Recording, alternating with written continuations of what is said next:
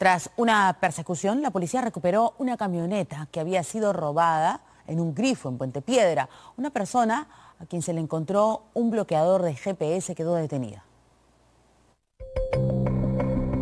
Había llegado a un grifo en Puente Piedra para abastecer gasolina cuando tres delincuentes lo despojaron de su camioneta Hilux. Los eh, delincuentes se encontraban provistos con armas de fuego, como el que podemos ver acá, que es un arma simulada, un revólver. El robo se produce en el grifo Primar.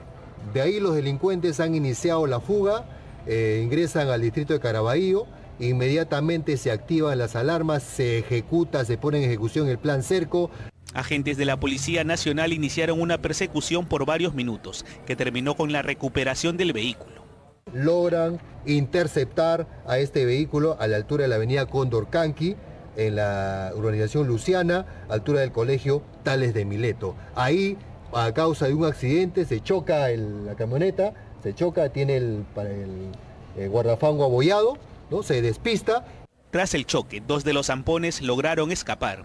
Al presunto delincuente capturado le encontraron en su poder un dispositivo para bloquear la señal satelital de vehículos.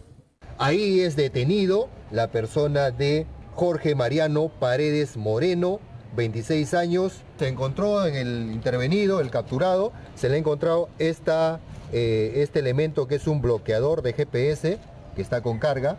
La camioneta recuperada se encuentra en la comisaría Santa Isabel, lista para ser devuelta a su dueño. A la dependencia policial también fue trasladado el detenido, a la espera de las diligencias fiscales.